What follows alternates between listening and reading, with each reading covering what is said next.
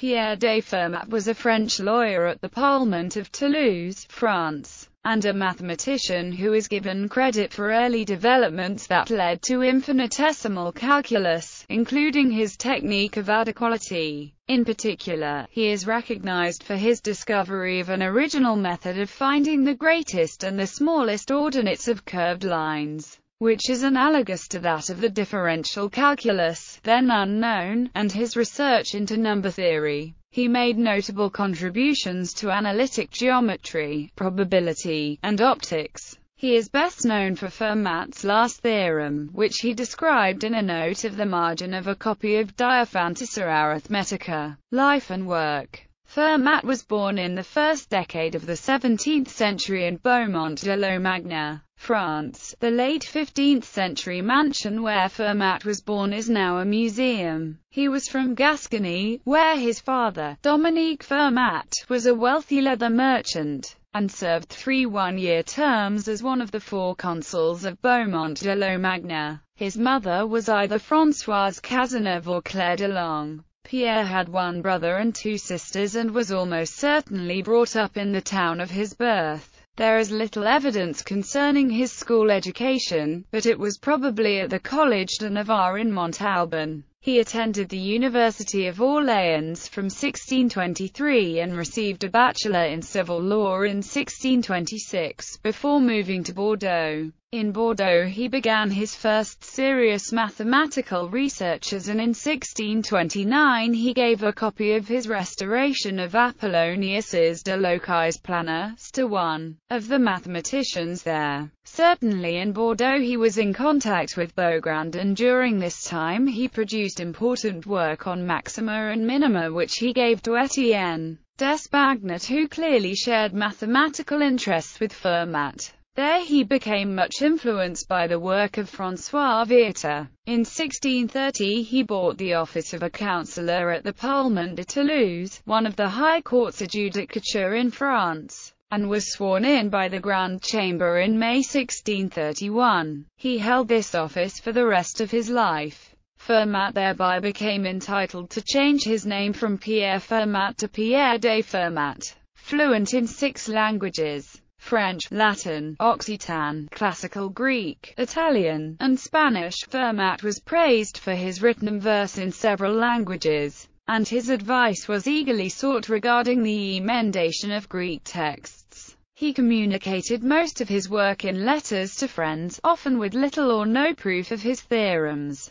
Secrecy was common in the European mathematical circles at the time. This naturally led to priority disputes with contemporaries such as Descartes and Wallis. Anders Hald writes that the basis of Fermat's mathematics was the classical Greek treatises combined with Vieta's new algebraic methods. Work Fermat's pioneering work in analytic geometry was circulated in manuscript form in 1636 predating the publication of Descartes' famous La Géométrie. This manuscript was published posthumously in 1679 in Varia Opera Mathematica, as ad locos planos a solidos as a in Methodis ad disquandam maximum a minima and in de tangentibus linearum curvarum. Fermat developed a method for determining maximas, minima, and tangents to various curves that was equivalent to differential calculus. In these works, Fermat obtained a technique for finding the centers of gravity of various plane and solid figures, which led to his further work in quadrature. Fermat was the first person known to have evaluated the integral of general power functions. Using an ingenious trick, he was able to reduce this evaluation to the sum of geometric series. The resulting formula was helpful to Newton, and then Leibniz, when they independently developed the fundamental theorem of calculus. In number theory, Fermat studied Pell's equation, perfect numbers, amicable numbers and what would later become Fermat numbers. It was while researching perfect numbers that he discovered the little theorem. He invented a factorization method, Fermat's factorization method, as well as the proof technique of infinite descent. which he used to prove Fermat's right triangle theorem which includes as a corollary Fermat's last theorem for the case n equals 4. Fermat developed the two-square theorem, and the polygonal number theorem, which states that each number is a sum of three triangular numbers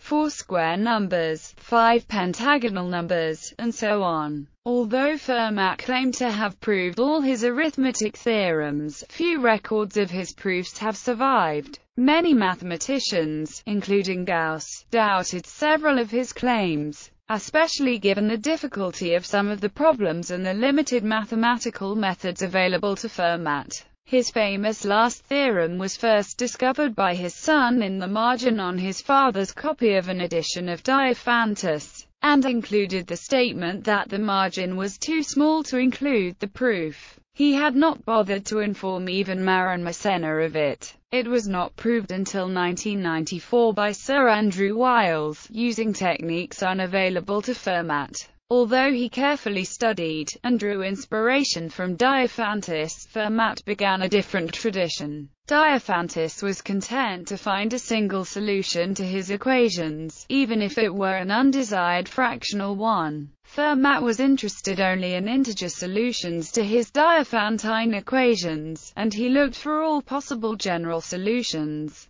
He often proved that certain equations had no solution, which usually baffled his contemporaries. Through their correspondence in 1654, Fermat and Blaise Pascal helped lay the fundamental groundwork for the theory of probability. From this brief but productive collaboration on the problem of points, they are now regarded as joint founders of probability theory. Fermat is credited with carrying out the first ever rigorous probability calculation. In it, he was asked by a professional gambler why if he bet on rolling at least one six in four throws of a die he won in the long term, whereas betting on throwing at least one double six in 24 throws of two dice resulted in his losing. Fermat subsequently proved why this was the case mathematically. Fermat's principle of least time was the first variational principle enunciated in physics since Hero of Alexandria described a principle of least distance in the 1st century CE. In this way, Fermat is recognized as a key figure in the historical development of the fundamental principle of least action in physics.